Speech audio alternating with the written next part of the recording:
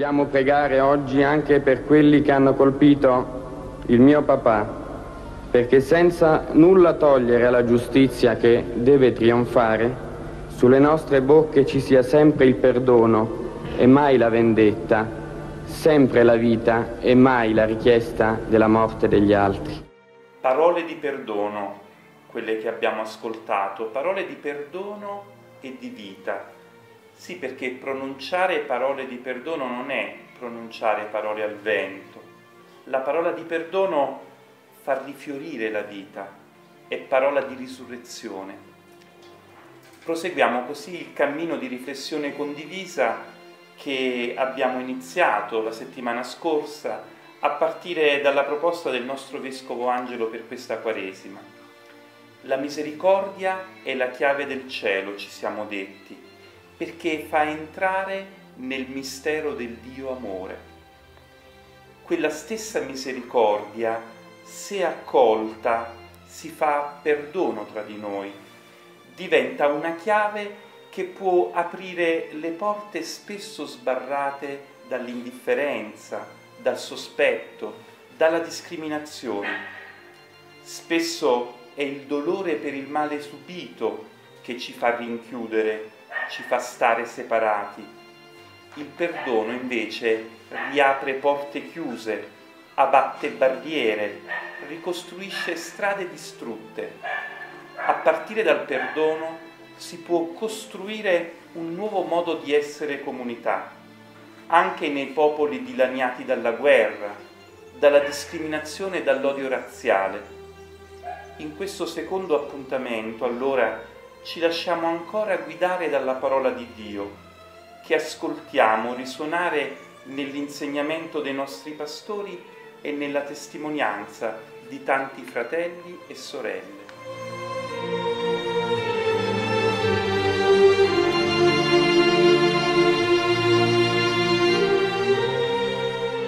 Dal Vangelo secondo Luca. Siate misericordiosi come il Padre vostro è misericordioso. Non giudicate e non sarete giudicati. Non condannate e non sarete condannati. Perdonate e sarete perdonati. Date e vi sarà dato. Una misura buona, pigiata, colma e traboccante vi sarà versata nel grembo perché con la misura con la quale misurate sarà misurato a voi in cambio.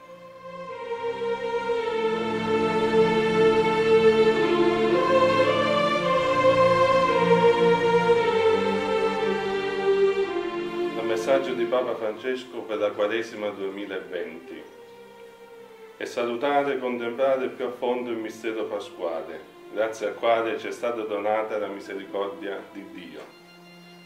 L'esperienza della misericordia, infatti, è possibile solo con un faccia a faccia, con il Signore crocifisso e risorto, che mi ha amato e ha consegnato se stesso per me. Un dialogo a cuore aperto, d'amico ad amico. Ecco perché la preghiera è tanto importante nel tempo quaresimale.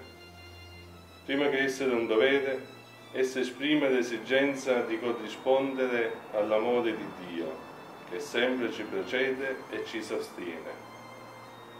Il cristiano infatti prega nella consapevolezza di essere indegnamente amato. La preghiera può assumere forme diverse, ma ciò che veramente conta agli occhi di Dio è che essa scavi dentro di noi, arrivando a scalfire la durezza del nostro cuore per convertirlo sempre più a Lui e alla sua volontà.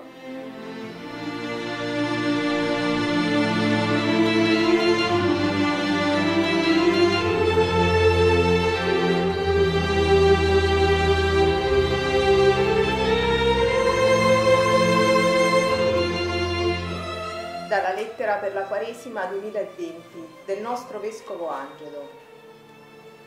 Dio, che è misericordia, si rivela donando vita e invitando anche noi a vivere, partecipando della sua misericordia.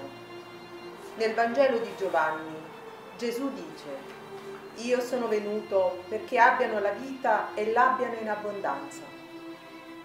La pienezza della vita del bene nella sua verità, la nostra comunione con la vita eterna, con l'infinito e nel vivere con Gesù la misericordia del Padre. Poiché abbiamo la grazia di contemplare la presenza di Dio che ci dona la sua misericordia e di essere vivi per il dono della sua vita, come Gesù siamo chiamati ad essere sempre pieni di misericordia verso i fratelli, a donare con generosa e illimitata il bene che Dio Padre ci dona in maniera illimitata. Proprio in questo tempo santo della Quaresima, la tradizione della Chiesa ci fa cantare spesso Ubi caritas et amor, Deus ibis est. Dov'è carità e amore, ivi è Dio. Troveremo Dio laddove cercheremo l'amore vero, l'amore puro, incondizionato e senza limiti, l'amore che è vita e dona vita.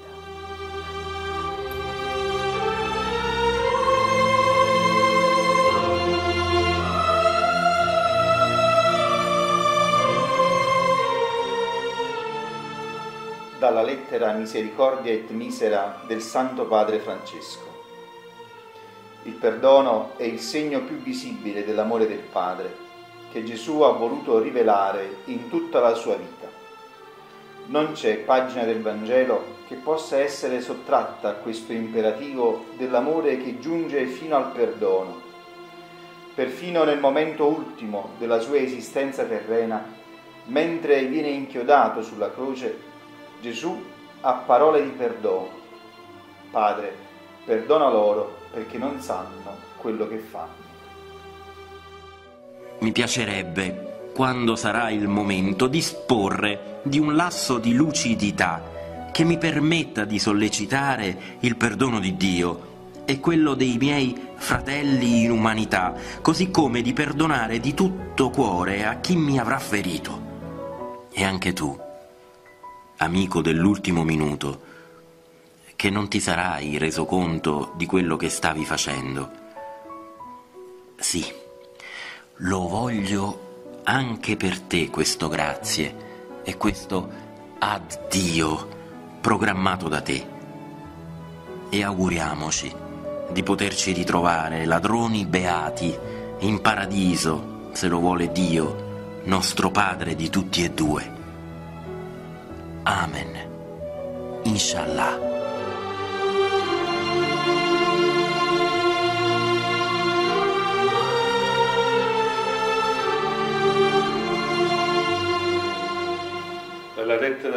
Quaresima 2020 del nostro Vescovo Angelo. La grandezza della misericordia di Dio si manifesta a noi nella sua totale disponibilità a donarci il perdono che come nella parabola evangelica in cui Gesù narra di un padre che attende e raccoglie il figlio, da perduti ci dona di essere ritrovati in se stessi e con gli altri, da morti ci fa tornare alla vita. Allora comprendiamo che perdonare non significa dimenticare, anzi, al contrario, significa ricordare la verità di ciò che siamo e la misericordia che ci salva.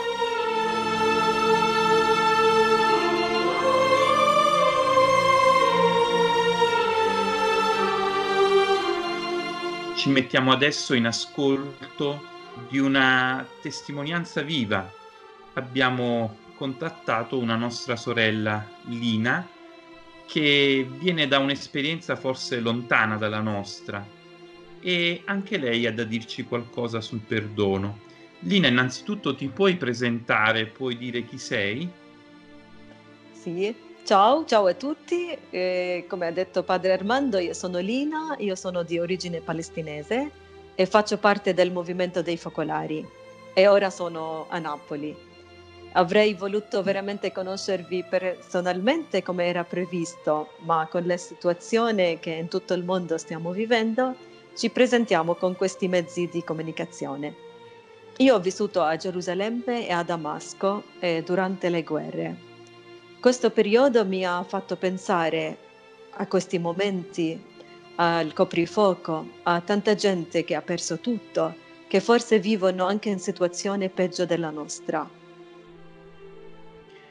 Lina, puoi raccontarci qualche momento della tua vita in cui senti di aver imparato qualcosa in più su cosa significa perdonare? Sì. E prima io volevo partire dalla, perché io ho sentito anche la prima catechesi che della, della settimana scorsa, dove eh, avete parlato e avete preso anche le parole di Papa Francesco quando dice che la chiave del cielo è la misericordia e il perdono. Io cerco di raccontarvi con tanta semplicità la mia esperienza personale. Mia mamma è nata a Betlemme e il papà a Gerusalemme, ma per causa delle guerre sono trasferiti in Giordania, dove siamo nati tutti lì. Io sono cresciuta ad Amman, Giordania. Da piccola andavamo a visitare le zie e i nonni, ma dovevamo passare la frontiera non vi nascondo che avevo tanto paura, perché dovevamo passare ore e ore a fare lunga fila, camminare senza scarpe e qualche volta con un controllo personale fastidioso. Sono cresciuta con l'idea che gli ebrei sono i nostri nemici. Quando sono andata a vivere a Gerusalemme in Focolari, la città della pace, dove non c'è pace, ma c'è un conflitto palestinese-israeliano che dura da anni con l'ultima antifada, la rivolta del popolo palestinese contro lo Stato di Israele, la costruzione del muro di separazione o il muro di sicurezza che, ci, che eh, circonda tutte le città palestinesi, ha aumentato l'odio fra i due popoli. Sentivo che dovevo fare qualcosa di concreto. Così è venuta l'idea con un'altra maestra ebrea di fare incontri con ragazzi ebrei cristiani, musulmani. Ma dentro non sentivo la pace. Le parole di Gesù, amare i vostri nemici, era forte. Sentivo che dovevo parlare con questa maestra apertamente, di avere il coraggio di dirla tutto quello che sento e la difficoltà di passare ogni giorno il posto di blocco, passando ore. È stato un dialogo aperto e lì mi sono sentita riconciliata con me stessa. Ho sentito dopo che potevamo fare questi incontri con i ragazzi perché era una cosa vera, reale. Non posso dirti quanto hanno portato frutti questo incontro, soprattutto durante la guerra di Gaza, che sembrava che tutto crollava. Una chiamata di uno di questi ragazzi chiedendo di pregare insieme, cristiani, ebrei, musulmani, per chiedere dono della pace sono stati i momenti più belli. Un'esperienza che mi ha cambiato da dentro. Essere riconciliati con noi stessi per avere il coraggio di conciliarsi con gli altri. Questa. Grazie, grazie molte a Lina. Lina ancora una volta ci ha mostrato l'importanza del perdono, ma un perdono che nasce da un'esperienza di riconciliazione con il Signore a livello personale. Questo perdono, come abbiamo ascoltato, eh, fa rifiorire davvero la vita e apre nuove possibilità, apre nuove strade da percorrere insieme. Grazie a Lina, sì, che speriamo poi grazie. di poter incontrare di persona al più presto. Veramente, grazie e veramente continuiamo a pregare che veramente di una fede che sposta le montagne, che tutto andrà bene. Grazie e ciao. La misericordia di Dio, che ci chiama a coltivare e custodire la terra, ci educa a chiedere il perdono per ogni forma di avido sfruttamento delle sue potenzialità di vita e per aver spesso abbandonato e sporcato di rifiuti lo spazio utile all'incontro tra gli uomini. La misericordia di Dio che ci chiama a vivere in fraternità, attenti alla crescita comune, ci educhi a chiedere il perdono per il sangue versato in tante forme di prepotenza omicida. La misericordia di Dio che ci chiama a consacrare l'amore che genera nuova vita, ci educhi a chiedere perdono per ogni forma di vita e commercio dei corpi e della vita di altre persone umane. la misericordia di Dio che ci chiama a partecipare con intelligenza e sapienza alla vita della società umana, ci educhi a chiedere sempre perdono per ogni forma di corruzione e di strumentalizzazione delle possibilità e dei ruoli occupati. La misericordia di Dio che ci chiama alla libertà e alla giustizia ci educhi a chiedere perdono per averne fatto un diritto che spesso impone ai più deboli la pretesa dei forti. Beh, diciamo grazie ancora ai confratelli, ai nostri eh, membri dell'ufficio comunicazione sociale e agli amici che, eh, che ci hanno aiutato a sviluppare questo momento di riflessione, di catechesi ancora, che come eh, già abbiamo detto anche nella prima parte della catechesi andata già in onda nella settimana scorsa, abbiamo voluto eh, come eh, realizzare quel momento di vita comune che nella città di Aversa si sarebbe vissuto nel tempo di Quaresima se eh, tutto fosse stato un po' normale. E purtroppo normale non è, stiamo vivendo questi momenti di grande apprensione, oltre che di eh, preoccupazione per eh, il tempo, per gli sviluppi del tempo e di, e di fatica, perché certamente rimanere eh, fermi è, è tanto, è tanto eh, difficile. E il pensiero, permettetemi di dirlo, va eh, non solo a chiunque vive un po' limitato nelle proprie case, ma anche a tante famiglie che in questi giorni per la limitatezza delle possibilità economiche e dovute anche alla chiusura di tanti luoghi in cui una forma di, di attività, sia pure non sempre eh, vissuta secondo i canoni e secondo le regole, eh, però permetteva in qualche modo di, di sopravvivere e che invece bloccando tutto adesso ha messo in grande difficoltà tante persone. Da questo punto di vista certo un saluto particolare ai nostri amici che sono impegnati in Caritas, nella comunità di Sant'Egidio, nel, nel, gruppo dei Vincenziani, in tutte le forme insomma, di volontariato, nelle Caritas parrocchiali. E dovunque c'è, tanta attenzione ai bisognosi e quindi ai nostri confratelli sacerdoti che eh, comunque tengono aperte le chiese e, e, cercano di raggiungere tutti i fratelli attraverso i vari mezzi. Grazie, grazie davvero a tutti. E questo grazie è anche a voi che, che ci seguite, che avete eh, dire, la disponibilità ad accogliere questo nostro dialogo che vuole aiutarci a vivere intensamente eh, il tempo santo della Quaresima. Lo abbiamo eh, iniziato con questa riflessione intitolata La chiave del cielo.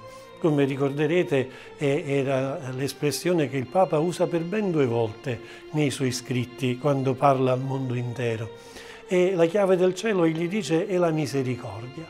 E allora abbiamo cercato di riflettere su questo. Ricordate che eh, dicevamo come l'umanità abbia sempre cercato la chiave del cielo come la possibilità di raggiungere Dio quasi per, per strappargli qualche cosa che potesse essere utile alla nostra vita, per fare forse quel salto possiamo dire di, di qualità, di, di possibilità che, che, che l'umanità sogna, eh, a cui l'umanità aspira, che sente dentro di sé come un'esigenza per, per poter vivere in pienezza. Ed ecco invece che eh, contempliamo in questi giorni proprio della Quaresima, ma sempre quando viviamo la nostra fede, contempliamo il mistero dell'amore di Dio che viene incontro a noi. Gesù, dice l'Apostolo Paolo, che non considerò come una sua proprietà, una sua prerogativa, un tesoro geloso, il suo essere Dio, il suo essere uguale a Dio, ma è venuto a dare a noi questa possibilità, è venuto a condividere con noi la possibilità di chiamarci figli di Dio e come dice l'Evangelista Giovanni lo siamo realmente. Allora davvero è questa la chiave del, del cielo, sentire che Dio è presente accanto a noi ed è presente accanto a noi eh, perché ci rivela il suo volto di misericordia. Se Dio si rivelasse soltanto come pensavano gli antichi, un, come un potere forte, un potere che eh, egli cercava in qualche modo di custodire gelosamente per sé, eh, una forza che gli permetteva di dominare tutto ciò che è nel mondo, beh allora sarebbe giustificata la disperazione di un'umanità che, che non riesce a raggiungere questa dimensione. Ma il Signore è, è, è, è, onnipotente nella misericordia, perché compie ciò che umanamente a noi sembrerebbe impossibile. Egli, eh, che è l'Onnipotente, viene in mezzo a noi che, che siamo eh, impotenti, che non abbiamo nessuna forza, nessuna possibilità e condivide con noi la sua vita, spezza con noi il suo pane, ci dona il suo corpo e il suo sangue. E questo allora avviene eh, davvero permettendoci di incontrare, di conoscere la verità di Dio, di conoscere il cielo e, e la terra insieme, che sono la misericordia di Dio. E allora per incontrare Dio siamo chiamati a partecipare della sua misericordia. E una via, la via della misericordia è sicuramente quella del perdono, che come abbiamo detto non vuol dire dimenticare qualcosa che è accaduto, ma vuol dire eh, rendersi conto della eh, debolezza, della fragilità, della miseria dell'umanità e sentire che in questa eh, debolezza, in questa fragilità, in questa miseria è venuta a risplendere la grazia di Dio che ci chiama a risorgere ad una vita nuova. E allora eh, non solo certo condanneremo il peccato, ma con, come Dio fa con noi, cercheremo di essere attenti alla vita del peccatore e quella parte che, che, che conclude questa nostra catechesi la parte nella quale eh, diciamo che la misericordia di Dio ci educa, ci educa ad avere attenzione all'ambiente, ad avere attenzione alle persone, ad avere attenzione alla società civile, al rispetto eh, dell'impegno proprio di ogni cristiano come cittadino. Ecco, noi guardiamo alla misericordia di Dio e sentiamo di, di volerci far educare, di volerci far portare, come Dio condusse il popolo di Israele nei 40 nel deserto perché potesse essere educato ad entrare finalmente nella terra promessa. Così questa Quaresima, davvero contemplando la misericordia di Dio, ci educhi ad essere misericordiosi e quindi a vivere con Lui, misericordiosi come, come il Padre, con Gesù, figlio di Dio, anche noi figli dell'unico Padre, e allora capaci davvero di far risorgere un'umanità nuova. Signore Gesù Cristo, tu ci hai insegnato a essere misericordiosi come il Padre Celeste e ci hai detto che chi vede te vede Lui. Mostraci il tuo volto e saremo salvi. Il tuo sguardo pieno di amore liberò Zaccheo e Matteo dalla schiavitù del denaro l'adultera e la Maddalena dal porre la felicità solo in una creatura. Fece piangere Pietro dopo il tradimento e assicurò il paradiso al ladrone pentito. Fa che ognuno di noi ascolti come rivolta a sé la parola che dicesti alla Samaritana, se tu conoscessi il dono di Dio tu sei il volto visibile del Padre invisibile, del Dio che manifesta la sua onnipotenza soprattutto con il perdono e la misericordia. Fa che la Chiesa sia nel mondo il volto visibile di te, suo Signore, risorto nella gloria.